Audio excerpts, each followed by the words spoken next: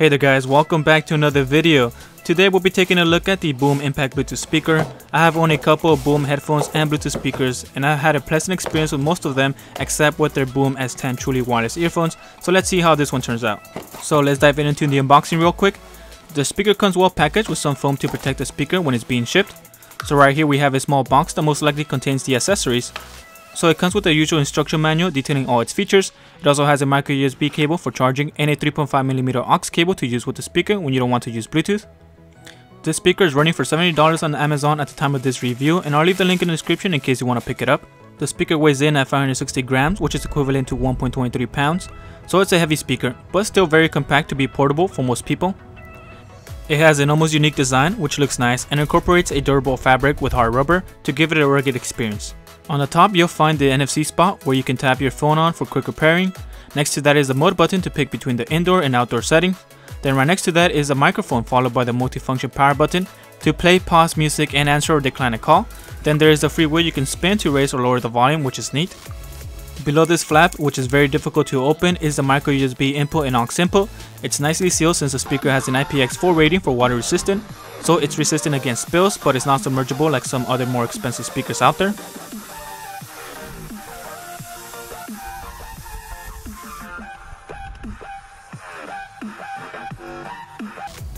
On the side here, the rubber feet are coming off, so the adhesive on my unit was not put on well, which is not a big deal since I was able to pop it back in and it stuck then. Now moving to the mini touch display, you can skip tracks by simply swiping left or right, and it only works when you swipe. So now let's power it on and get it paired up. This is using Bluetooth version 4.1 and I will be connecting it using the NFC function. So you just tap it here and you will get a prompt to pair it. So it's a very simple process. Inside the speaker rests two 12 watt drivers which is loud. In the indoor mode the bass is more noticeable but the sound doesn't appear to be quite balanced when watching movies. The bass feels a bit overpowering making it difficult to listen to people talking at times. In the outdoor mode the bass gets reduced and the pitch of the volume increases while making it clearer and it feels more balanced. So that's the mode I use when I watch movies.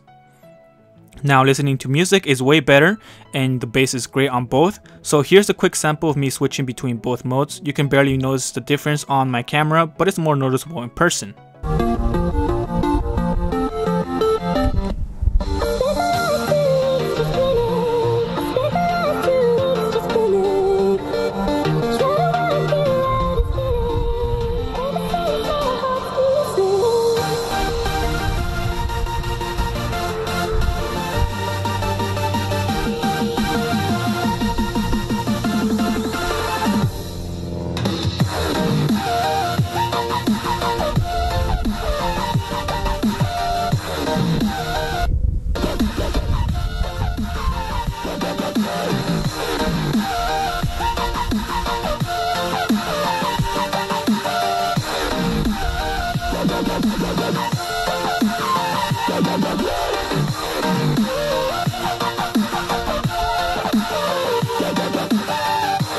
The speaker retains a strong Bluetooth connection within 15 feet, so that's good.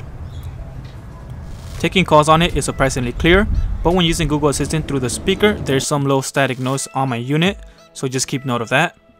Now the battery life on the speaker is decent. You can get up to 7 to 8 hours of music playback time at 50% of volume on its built-in 4000 mAh rechargeable battery. The thing that sucks is that it doesn't have any type of fast charge and it charges on 5 volts to 1 amp. So it takes the speaker about 4 to 5 hours to get a complete charge and it can still play while it's charging so that's a good thing. My overall judgment on this speaker for the price is a 7 out of 10. It could have had a longer battery life with the 4000 mAh battery. The JBL Flip 4 gets 12 hours on a 3000 mAh battery, but then again the JBL Flip 4 has a 60 watt driver and the Bohm has a 24 watt driver. The JBL is a more trusted brand than the Bohm since it's not as popular, and the JBL Flip 4 runs for $100 and the Bohm runs for $70, so you are saving $30 if you go with the Bohm but you don't get the submergible speaker like on the Flip 4, but you get a relatively loud speaker. Alright guys, so this completes my review and thank you guys for watching and I'll see you next time.